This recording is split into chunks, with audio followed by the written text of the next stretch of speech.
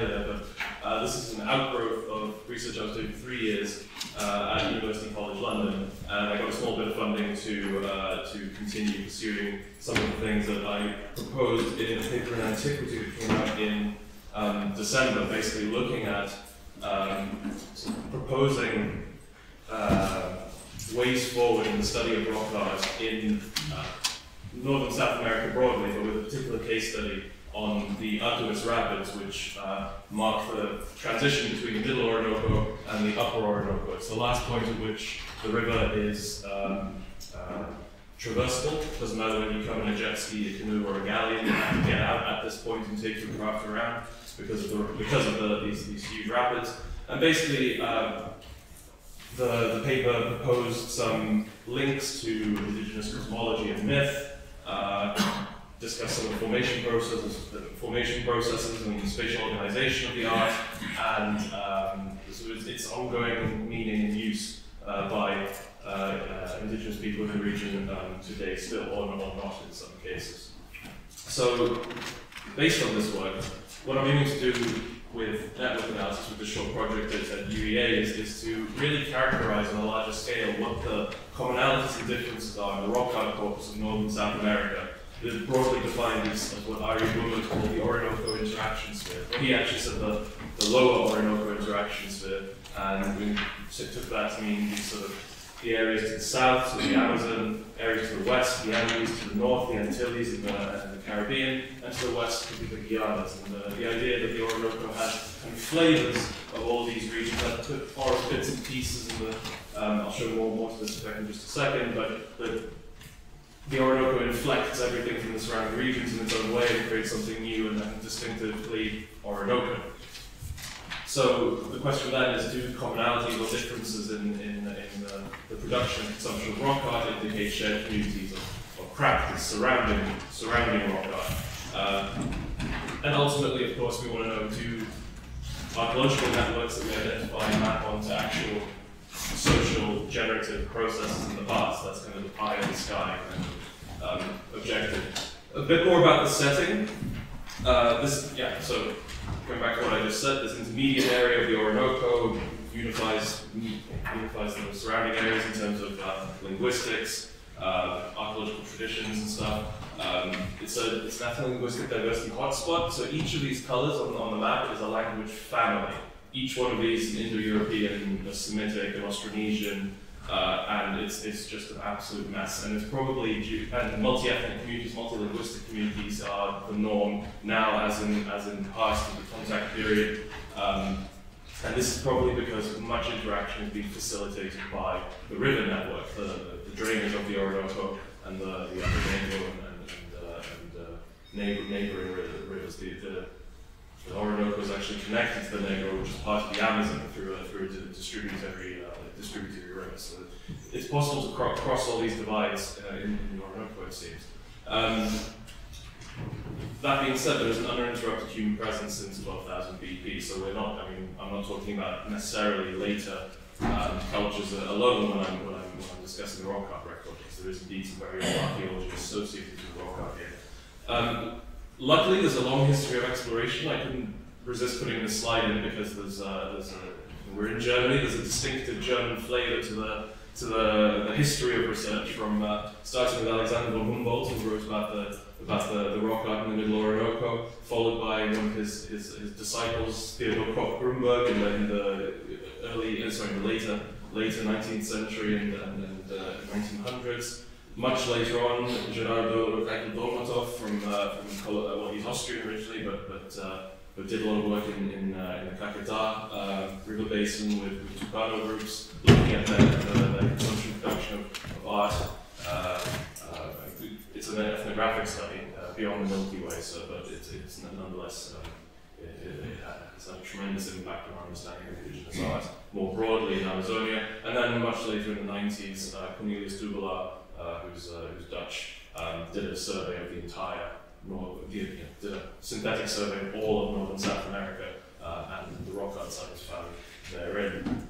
So this this kind of corpus and that later later later archaeologists provides a um, uh, a rich, if a slightly fragmented, uh, database to start thinking about interaction over long distances. So this is uh, where I am with my pilot database of 72 sites. Most of them are engraved. Um, have some petroglyph sites, and then 16 are, painted pictograph sites. Uh, the reason I haven't got further with this in the two months I've been doing this is that I got really, really bored of counting motifs. I got up to 1,609 individual motifs spread across these 72 types, grouped into 70, uh, 72 sites, grouped into 71 types, and I just got bored of counting. I'm going to return to it when I've had a bit of distance. But this represents the best quality data I can get my hand on, so full inventories of sites, not just kind of presence, absence of one or two motifs. Uh, it's fundamentally based on this glossary, uh, which which is like sort of stared at it a bit, you know, stared at this for too long, too many hours in the office. I started to realize I'm kind of uh, it's a bit, bit Pokemon-esque. So Spiral 1 evolves into Spiral 2, Spiral 2 becomes Spiral 3, and so on and so forth. And there's 71 of these, kind of my reading of what makes up a motif, um, and what makes a variation of a motif, and how is this all internally consistent. Um, but like I said, there's, there's still tons to do. There's one of the one of the larger sites in the Chiribiquete in, in, in uh, the Colombian Amazon, which is just huge. I can't even bear to look at that picture I know it will take me about three days just to even get my head around, get, get my eye into the into the photos I have. Um, so the questions I wanted to ask of this is essentially a big a big table of, of counts. Uh, is to know how many connections does each each site have to other sites. Uh, it's, it's degree essentially um, based on the co-presence both weighted and unweighted, weighting by the quantity of, of motifs in each site, and then um, sort of similarity measures, formal indices of, of, uh, of, uh, of similarity between art sites. And then to go from there to which sites are the most connected, which sites are the most influential important in the network, um, and then what is the structure of these kinds of networks based on inferred importance. Um, I use two uh, measures of similarity, Brainerd Robinson, uh, which is recently been used quite fruitfully, I think, with uh, Southwest Social Networks project, looking at similarity in ceramic assemblages across the Southwest for a period of, I think, 250 years and 50-year time slices. Um, interestingly, interestingly, one of the most famous applications of the Brainerd Robinson Index, uh, uh, Mills and their team didn't, didn't develop it themselves, was in lowland South America, so brought, brought to the fore by, by uh, Warren DeBoer and colleagues to look at exactly this similarity between sites over, over different periods of time. And then second, the Jaccard index, which is a classical index of, uh, of, uh, of, similarity for, for categorical count data. So, some networks. Basically, this is all very new to me.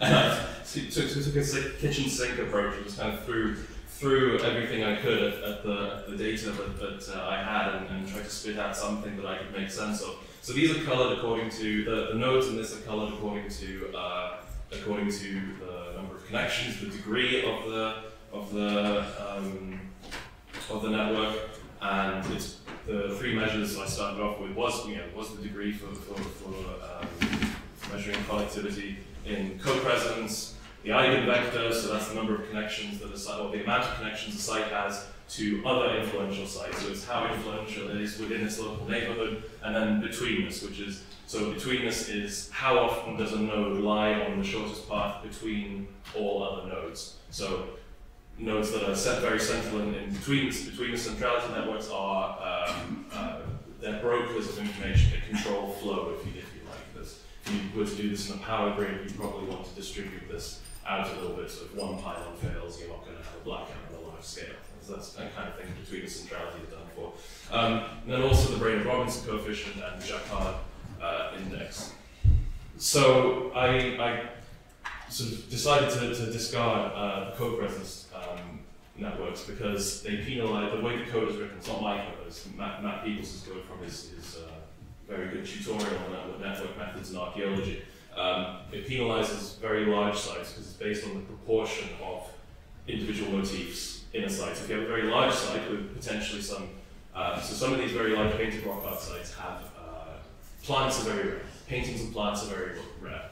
But they tend to, when they do occur, they tend to occur in very, very large sites. Um, why? I don't know. But if I were to find see a plant in another site, a draw painting of a manioc or a maize stalk or whatever in another site, I would think, oh my god, that's really important. These sites have a there's some implicit connection there of some nature between the two. But the algorithm wouldn't necessarily think that because that one plant in both sites is maybe 0.001% of the total uh, assemblage of motifs. So it discards it as a cutoff threshold before you even get to that stage of analysis. The the Brainerd Robinson and the Jaccard index also rely on this, th this free parameter of a threshold, but you do it post analysis. So it determines the importance of, of, of, a, of you know, similarity of the site to all other sites, and then you say, well, okay, where, where do I want to start? Start making the cutoff. Uh, going back to this notion of, of um, uh, centrality and, and, and uh, control in, an overall flow of information, what I was interested in actually to, to, to pursue my question to mesh most closely with, with uh, between the centrality uh, how often does a vertex lie on the path to all the vertices. Uh, try to look at this comparatively. Uh, the text is a bit small, but there's so highly connected sites, sites with, with um, high importance between the centrality network are the yellow ones, these, these yellow, yellow dots.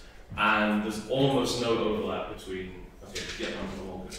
Um, there's almost no overlap between the Jaccard index and, the Brainerd Robinson index. They're telling completely different stories about what's what's uh, important to in, in in these networks, uh, and that probably says more about the analysis technique than any actual social generative process underlying the rock network or my data collection or what have you. So if if I have one takeaway message from this, it's that sensitivity analysis is like super important. You need to know what you're asking. You need to permute through various different things. Think a little bit critically about why you're asking what you're asking, why you're doing what you're doing.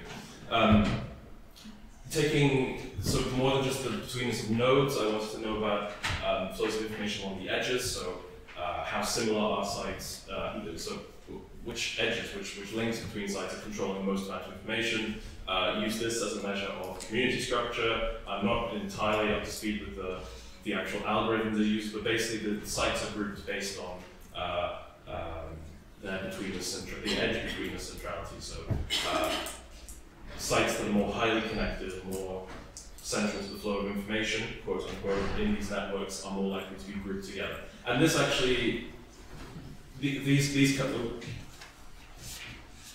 these colors are consistent between each each kind of iteration, each each threshold applies. Five percent threshold similarity, ten percent, fifteen percent. Um, in the Southwest Social Networks project, they used a similarity threshold of seventy-five percent. Now, if I use more than twenty percent, these just dis dissolve. These really aren't. These really aren't all that, that similar when you compare, you compare them to these. Uh, rock art networks aren't all that similar when uh, you compare them to, to, for example, ceramic style networks in the US Southwest. This is a different different phenomenon that we're looking at. But this is where I, I kind of I think I'm starting to see patterns emerge. If I project this spatially, which I'm sorry I didn't have time to do, they kind of form highly central nodes are sort of on the edges of watersheds. They, they connect into the flow of a different river, presumably a different group of people are living, and it, it makes a little bit more sense. I'm going to be teasing out this more, more, more of this, um, teasing out more of this later. So it works, kind of. I mean, the code runs. I'm not sure it's showing me anything that I didn't already know because you get intimately familiar with your data as you're collecting it. Um, the question is, does it work better than something like multiple correspondence analysis? I've been talking to Tom about doing something like this for maybe three or four years, CA Harris maybe, so maybe as much as five years ago. And he told me don't do it, like, just, it works better doing other things. And I'm kind of coming around to his, it only took me five years to kind of come around to, to what he said. Um, but some sort of validation measure is needed. I don't, I don't know what that might be. Uh, some sort of bootstrapping technique, simulation technique to generate random networks and see how the empirical networks differs. I don't know. Uh, I need to think more about what metrics and techniques make sense for studying rock art networks. Um, I'm glad that there are other papers coming on this because I might learn something. Uh, and there's still a ton I have to do. So each of these, each of these um, ellipses are areas which I have loads of sites. I have a bunch of sites that I couldn't do, I can't do more than presence absence data for. Uh, but hopefully, uh, again, another reason that I've seen weird stuff in this analysis that I don't, can't understand in archaeological terms is because uh, it's quite a small sample of the overall universe that I know exists out there. So I need to uh, need to get on that. With geographical weighting, which oh, so geography has an influence on this as well because people disperse and move through the river network. That's how contact takes place. It really sucks to walk through the jungle when you don't have machetes yet. Um, and uh, yeah, that's, that's basically where I am. Uh, if you liked it, tell me. If you think it's bad, tell me, and I will stop. Thank you.